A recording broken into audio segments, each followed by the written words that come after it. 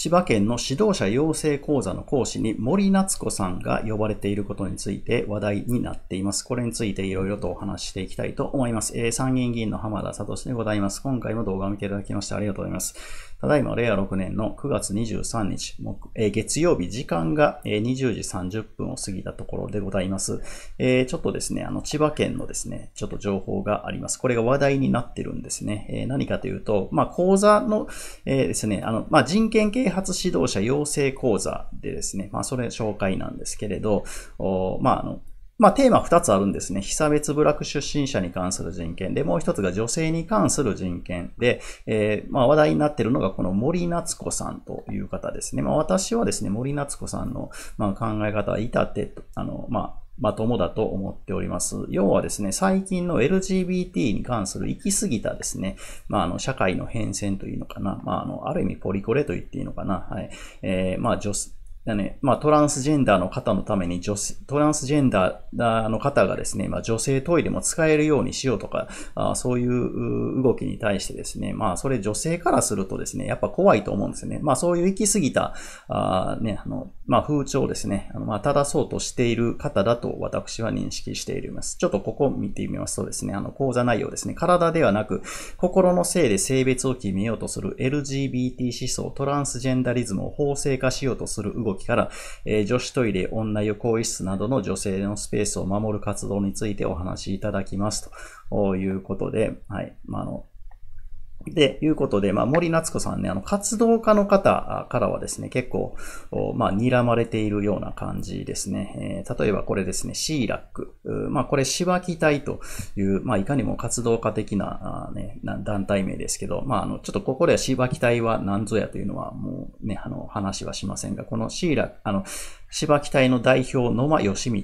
氏という方のですね、まあ、このアカウントなんですね。えー、人権啓発指導者養成講座の講師に森夏子てということで、まあ、この、あの、まあ、ちょっと反応されてですね、えー、それが39.1万ビューも、まあ、あるということでございます。で、えー、まあ、これについてですね、あの、まあ、まあ、さらに反応されている方が、アリエル・クッキー・リュウという方がですね、また、まあ、起こっておられてですね、えー、で、まあ、ちょっとね、注目がですね、えー、今回話題になったのが特にこれですね、あの、熊谷知事がですね、あの、経緯を確認します。私も驚いていますということで、えー、これにですね、あの、56万ビューもあるんですよね。はい。ということで、まあ、ちょっと、あのまあ、ここまで、え見るとですね、ななんつうのかな、まあ、森夏子さんがこの講師で呼ばれることについてですね、まあ、私最初この、このことを知ったときは、お、えー、熊谷知事いい、いいことするじゃないかと思ったんですけど、ちょっとこのですね、熊谷知事の驚いていますのコメントですね、ちょっといかがなものかなと、まあ、思いましたね。で、まあ、ちょっとあの、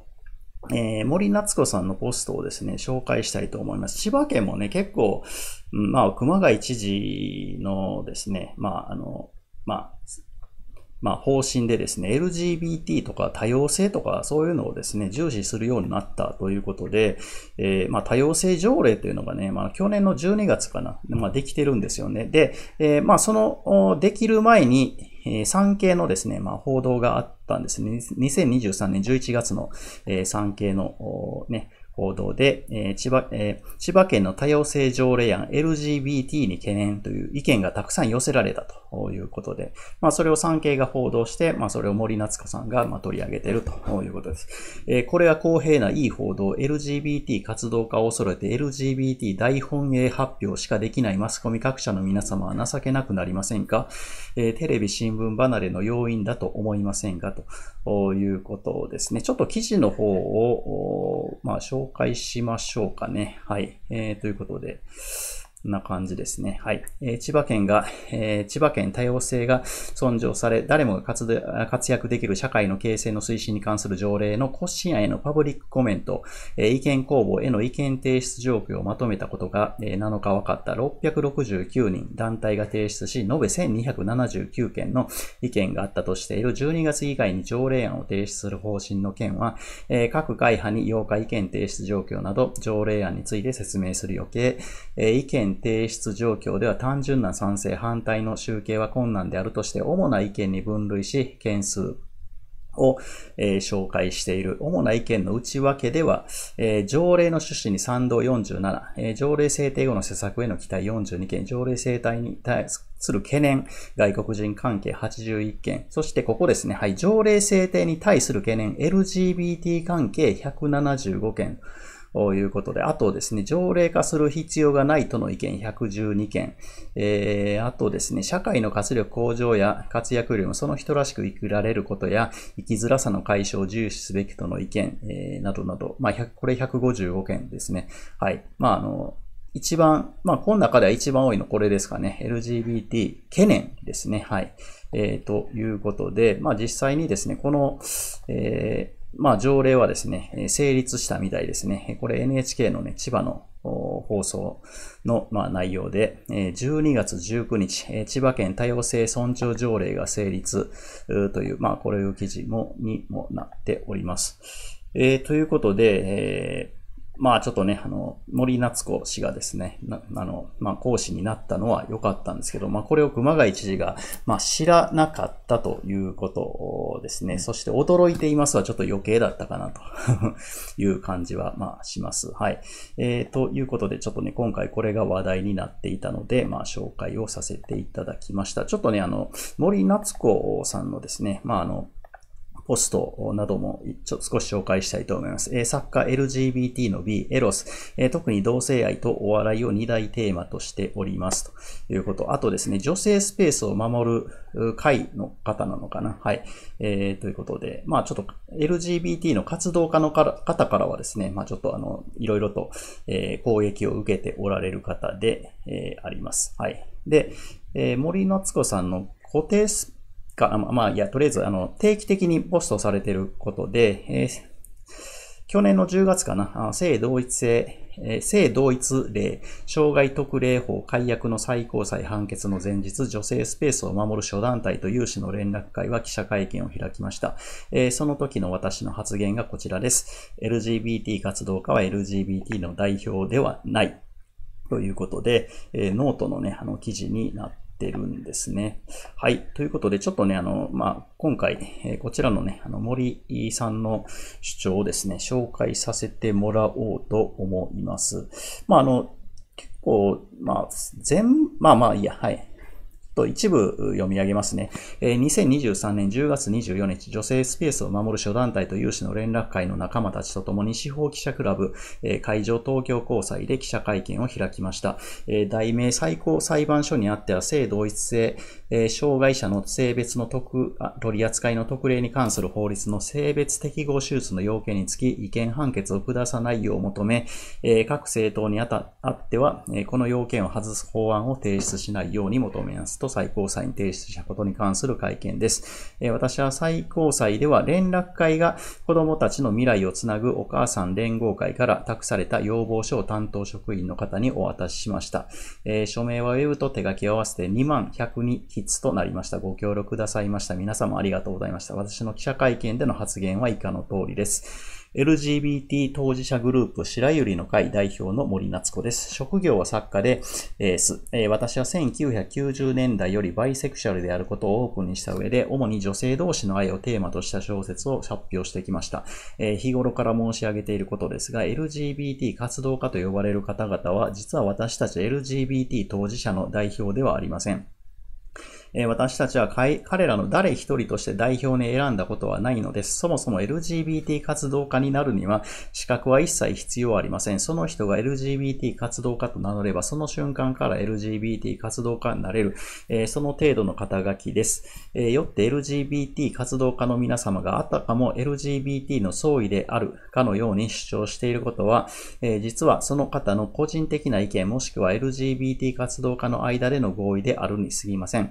そんな LGBT 活動家はこう主張しています。性別適合手術は、え男子手術で人権侵害である。手術なしで、法的な性別を変えられるようにすべきである。しかし、LGBT 当事者のほとんどはこれに賛同していません。えー、性別適合手術を終えて、えー、戸籍も心の性に合わせている性同一性障害の方々ですら反対しています。えー、なのになぜ彼らは性同一性障害、えー、当事者の反対の声が表に出ないのか、それは彼らはすでに性別適合手術を終えた体で社会に埋没しているからです。えー、過去に男性だった、あるいは女性だった、であったことを明かすことは彼ら自身にとって大変な苦痛を伴い、えー、それまでの生活を自ら破壊する結果にもなって、えー、しまいます、えー。彼らは政治的闘争に身を投じることもない平凡な一人の人間として生きることを望んでいるのです。LGBT 活動家に反対する声すら上げられない真の弱者です。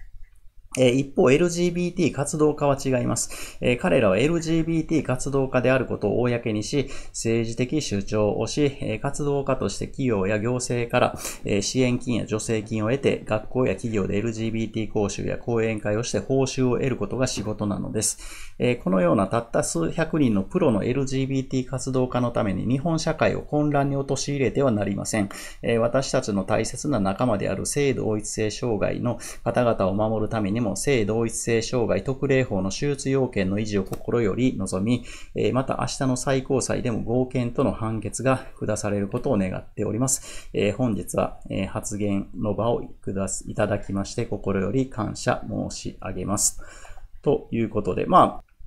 あ、あちょっとまだ続きはあるんですけれど、一応ここまでね、とどめさせていただきます。はい。はい、えー、先ほど紹介したですね、森夏子さんのまあ、声明文がですね、10月24日発表だったんですけれど、まあ、その翌日のですね、えー、まあ、NHK の、まあ、記事になります、えー、性別変更の手術要件めぐり特例法の規定は憲法違反と